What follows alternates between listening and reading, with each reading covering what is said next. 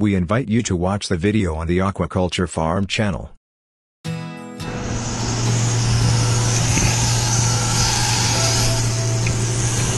Swordfish and swordfishing have become my passion over the past five years. What started as a bucket list dream catch 14 years ago has turned into a full-time obsession with all things swordfish.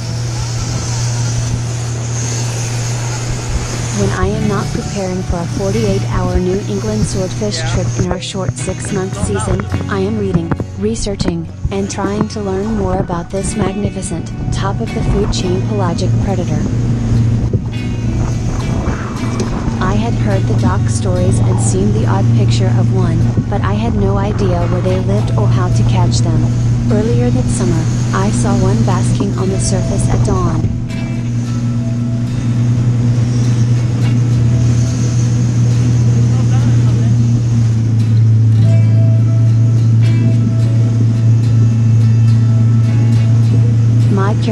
Classic could get me to 100 fathoms and was a great trolling boat, but it was brutally bad for drifting at night due to its deep V bottom. Its roll was so uncomfortable that sleep was little more than a cockpit catnap for me.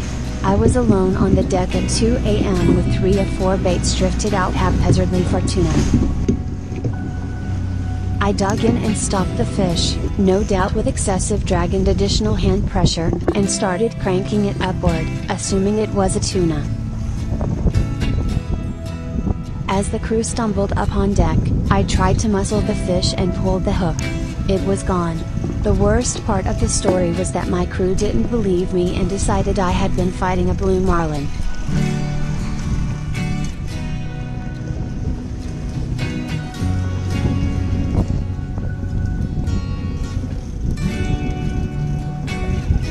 Thought it was a free jumping sailfish, but it looked different when it hit the water on the last jump, said Captain John Dudash, who was running wound up in the ESPN televised BXRL fishing tournament.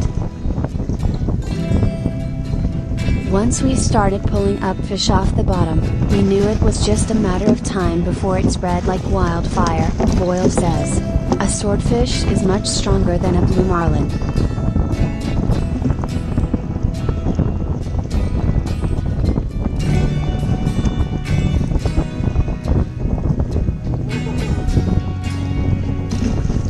Look at the muscular base of the tail. The dorsal is fixed, not folding, and it has that big, flat bill, allowing swordfish to dig deep in long fights against anglers largely unaided by boat and captain. Proficiency catching swordfish deep is affecting other fisheries too. New England has always considered swordfish a bonus, says Charter Captain Jack Springle of Rhode Island, where they're often caught overnight while drifting for tuna.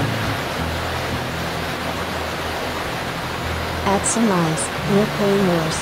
Around midday, when the tuna bite slows, we would have caught dolphin on high flyers.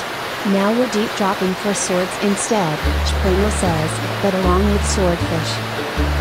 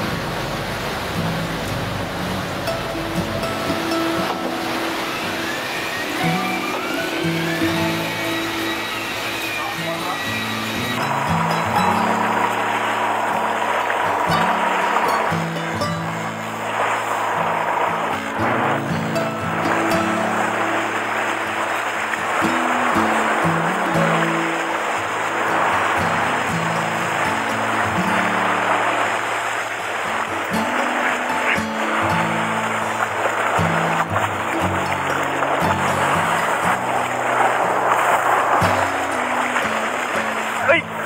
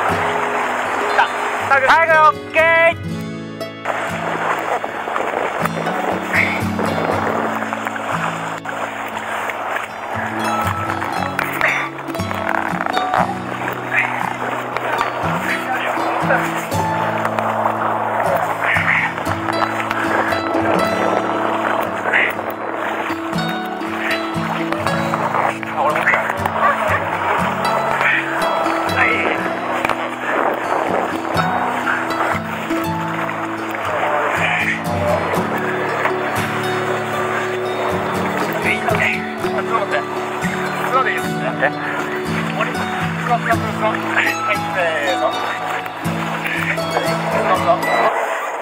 はい、気をつけろよ。せーの。せーの。せーの。せーの。せーの。